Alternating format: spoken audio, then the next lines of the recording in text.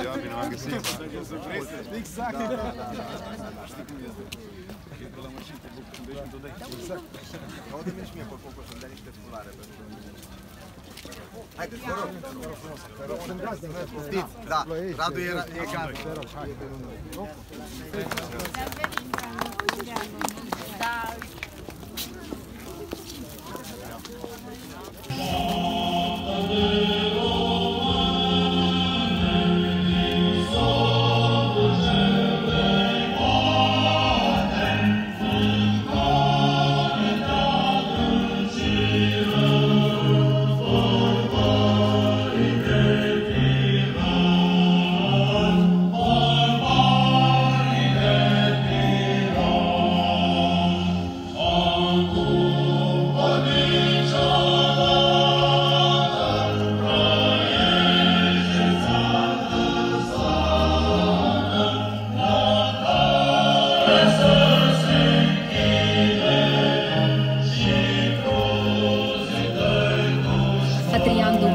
Și principele Nicolae.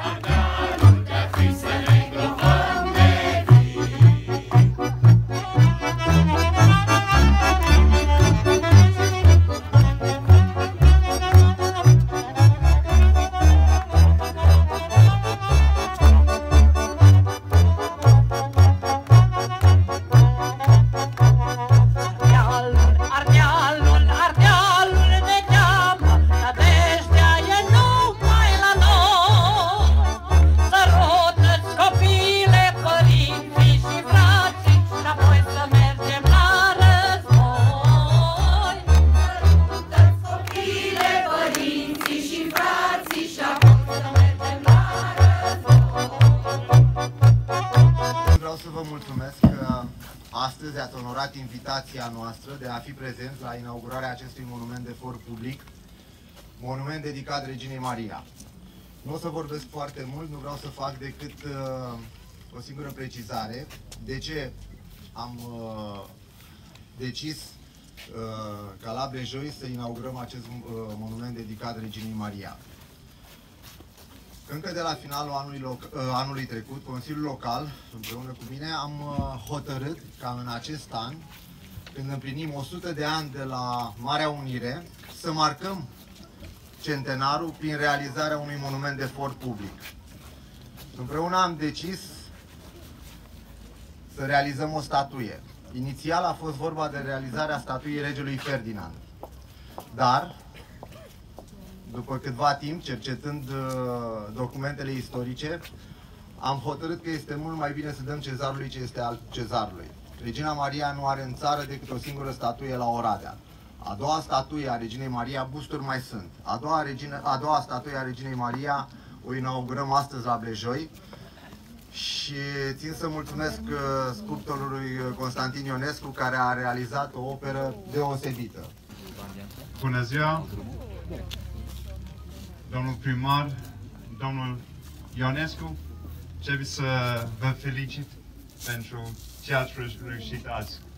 Este o, o statuie minunată și putem să stăm aici și să ne uităm la un om curajos, un om puternic și a fost ambasador, ambasadorul nostru adevărat. Regina Maria ne-a arătat ce înseamnă patriotism pentru noi toți, pentru copii, pentru trecutul, prezentul și viitorul. Avem un exemplu puternic de umarit prin Regina Marie și povestea ei putem să învățăm nu numai despre ce înseamnă România, dar și ce înseamnă să fii un român bun. Este exemplul meu, ca bunicul meu, și este exemplul nostru. Regina Maria a reușit să ajute țarii ei la Paris, în Franța, pentru că a înțeles foarte bine ce înseamnă România, ce a vrut popor și cum să ajute țara ei. Și prin asta au reușit să ajute pe țară să fie unificat, să fie unificată și să fim uniți. Încă o dată, felicitări, la mulți ani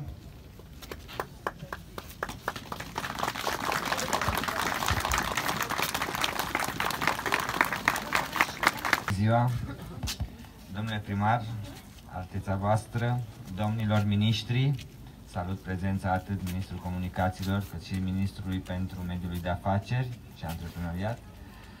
Este un moment uh, deosebit, doamnelor și domnilor, în special pentru mine, ca și locuitor al Comunei Blejoi, născut, crescut aici, în această comunitate, este un moment deosebit pentru că acum, când uh, România celebrează 100 de ani de la Marea Unire, în această localitate binecuvântată de Dumnezeu, spun eu, avem parte de, o, de un eveniment așa de frumos, de o statuie care reprezintă toți românii, atât pe cei din hotarele normale, cât și pe cei din afara țării. Este un moment deosebit pentru întreaga comunitate regiună și pentru acest uh, motiv aș vrea să felicit atât instituția primarului cât și Consiliul Local care a aprobat edificarea acestui frumos monument care ne reprezintă pe toți. Acum la 100 de ani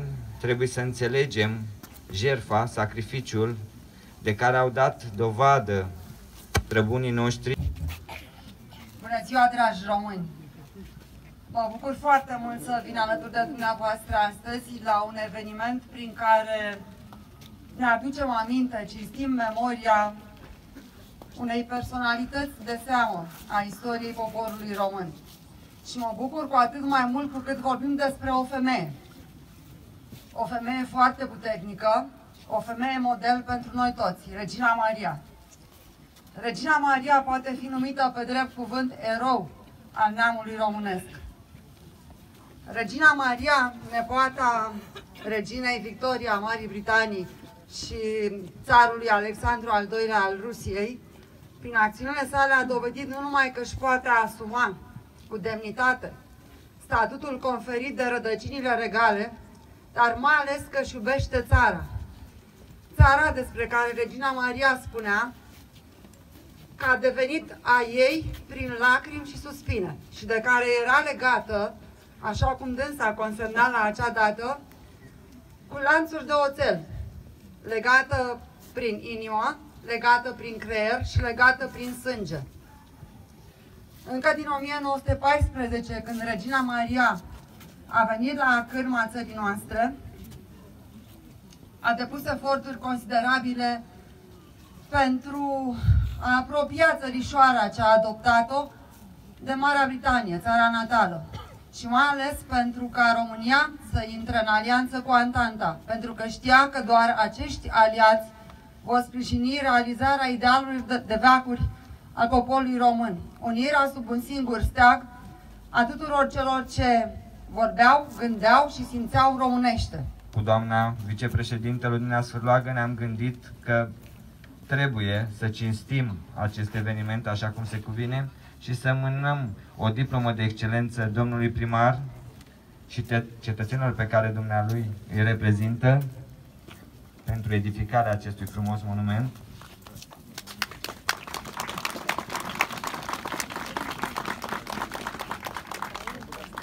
Iar pentru faptul că a dat curs invitației noastre într-un timp așa de scurt, Principele Nicolae o plachetă omagială cu România 100, pe care se află și regele Ferdinand, bineînțeles, o altă personalitate importantă pe lângă Regina Maria.